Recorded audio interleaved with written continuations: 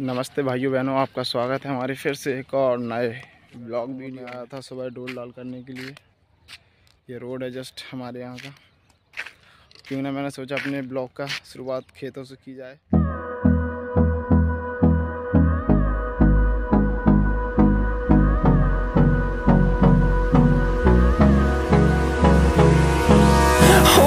close till I get up.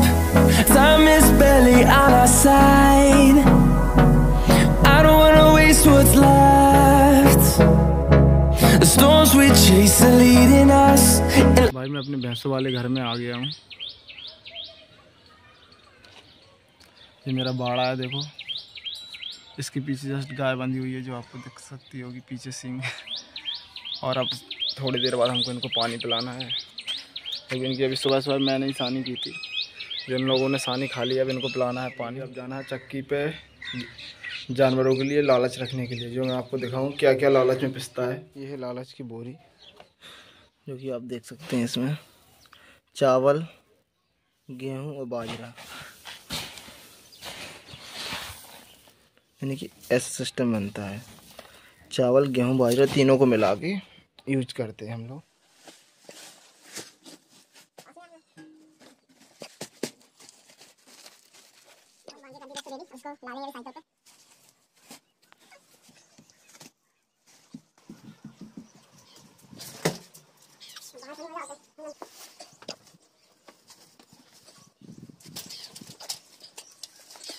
दोस्तों cycle पे मैंने लाद दिया है अब इसको ले के जाने वाला हूँ।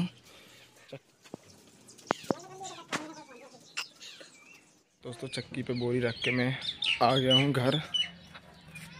मैंने तीन बोरी रख के आया था चक्की पे जो कि मैं अभी अभी जस्ट दोस्तों मैं नहा धो के हो। गया हूँ रेडी अब मैं खाने वाला हूँ खाना। खाने में दिखाऊँ क्या क्या चीज़ है।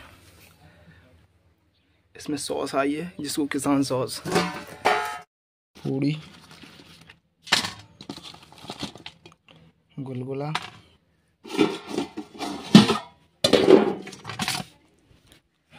और किसान खाना खाने के बाद अब हम डीलेंगे भैंस। तो अभी हम खा रहे हैं खाना। इसके बाद भैंसों को डीलेंगे। उनकी फिर आज आप लोगों को हार का व्यू दिखाएँगे कैसा क्या मेरा हार है। उसके बारे में आपको आज दोस्तों आज मेरे घर पे कुछ मेहमान आए थे तो उनके उन लोगों के कारण मुझे हो गया आज लेट। क्योंकि वो उनको थोड़ा सा मेहमान नवाजी करने में थोड़ा सा समय लग गया मुझे। इस वजह से मैं लेट हो गया हूँ भैंस को। ले जाने में माँ लेके गई है। अब मैं जा रहा हूँ खेत पे भैंसों के पास.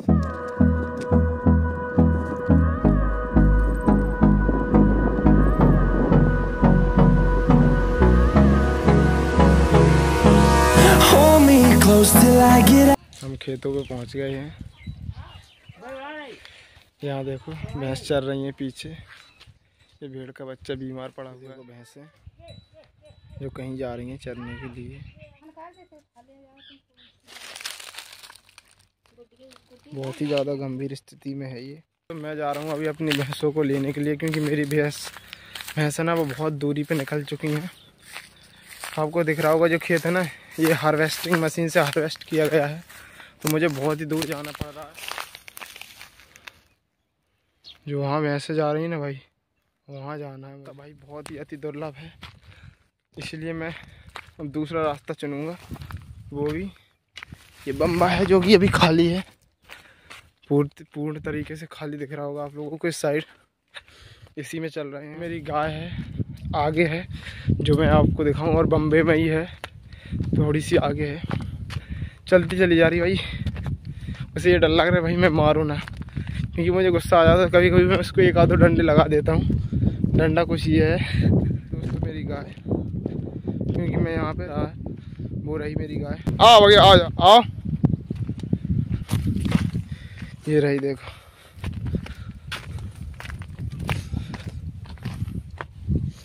ये रही मेरी गाय।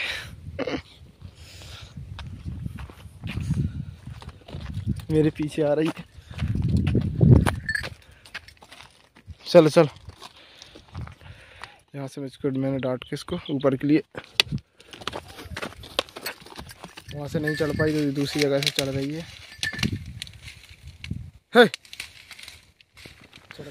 कुछ हमारी भैंसें इस साइड है।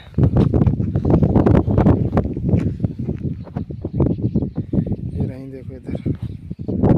कुछ लोग इधर भी बैठे हैं।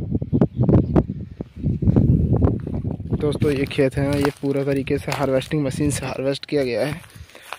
फिर इसमें भूसे वाली मशीन से भूसा बनाने पे देखो, ये पशु चल रहे हैं। मेरे पशु उस साइड हैं।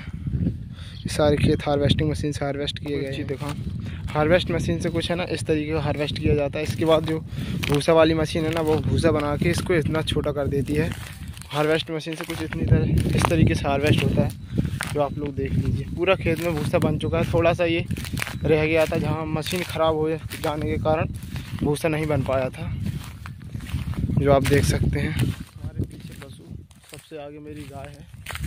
जो कि ये है पीछे हमारे तीन पशु हैं एक आगे गाय छोटा वाला बच्चा है उसको हम लोग हम लेके नहीं आते हैं क्योंकि गर्मी ज़्यादा है और हाल में पानी की व्यवस्था है नहीं इस वजह से हम लोग लेके नहीं आते हैं। कारण बस यही है और आगे भी दिखाने बैठे हैं। इनकी भैंस भी यहाँ खड़ी हुई हैं। मेरी भैंस उधर आ रही है। यह धूप अब मैं बांधने वाला हूँ सापा। इस सापिया से अभी मैं अपने इस पर सिर पे अभी पूरे तरीके से साफ़ बाँध के आपको दिखाऊँ मैं कैसा बांधता हूँ। क्योंकि एक ही अकेला हूँ, इसलिए मैं आपको दिखा नहीं सकता, पर मैं अपने हाथ से बाँध के हो गया तैयार। इससे हमें धूप नहीं लगेगी, और इस साइड से धूप लगेगी तो हम इसको इस साइड कर लेंगे, और इस साइड से लगेगी तो इसको इस साइड से कर लेंगे। ये हमारा देसी सापा है।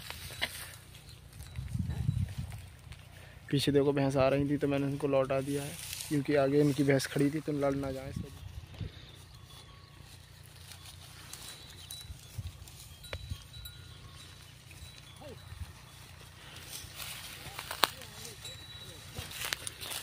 देखो दोस्तों पशु पीछे जा चुके हैं। सारे के सारे कुछ पशु इस साइड भी हैं जो हमारे चाचा जी लेके आ रहे हैं। इस साइड से ना धूप उल्टी पड़ रही है तो सही नहीं आ रही है। पशु भाई देखो चलते जा रहे हैं सारे सारे। कितने दूरी पे अब देखते हैं इनको कहाँ जाते हैं, मैं इनको रोकूँगा नहीं। इसमें देखो मूंग बोई हुई है इस खेत में। देखो इस साइड हरियाली है, इस साइड एकदम सूखा पड़ा हुआ है।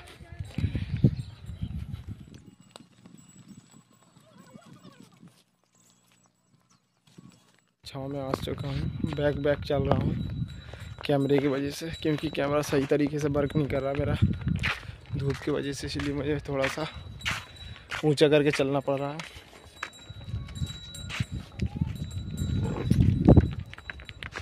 पीछे भाई देखो कितना स्पीड में आ रही है।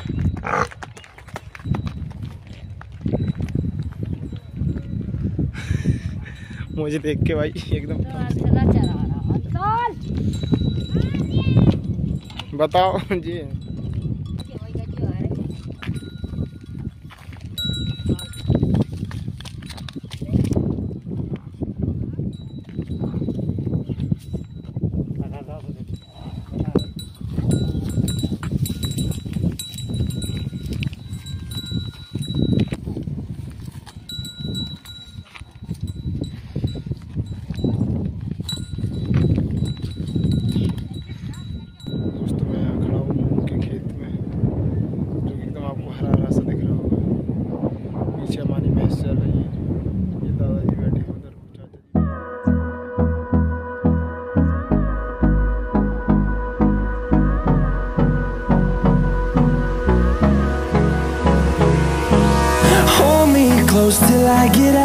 दोस्तों, काफ़ी समय हो गया मुझे पशु पर चराते चराते।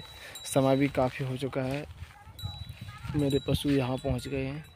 बहुत सफ़र करके कम से कम मैंने दोस्तों चार किलोमीटर का सफ़र पूरा करके मतलब जो चक्कर चक्कर लगा लगा के भाई दोस्तों मैं फाइनली अब बस थोड़े टाइम में घर जाने वाला। ये हम लोगों के पशु है, ये हमारे पशु है, आगे हमारे चाचा जी के पशु है, वो मेरी गाय चल रही है।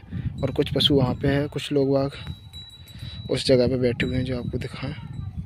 या इस जगह पे सारे लोग बैठे हैं। मैं भी अभी बस वहीं जाने वाला हूँ। वहाँ से रोड थोड़ी दूर रह जाता जो आपको दिख सकता है वहाँ तो मैं अब घर चलने वाला हूँ। समय हो गया है। और देखो मैं रोड पे आ गया हूँ। फाइनली पीछे हमारी भैंस जा रही है। और ये आम की कली है जो मैं खा रहा हूँ दोस्तों। बहुत ही खट्टी है और अच्छी लग रही है। दोस्तों यहाँ पर मैं करता हूँ अपनी वीडियो का अंत, ज़िंदगी जिंदाबाद के नारे लगा के। तीन तीन आम की कली हैं। दोस्तों, बाय बाय। जो ये हमारी भैंसें जा रही हैं,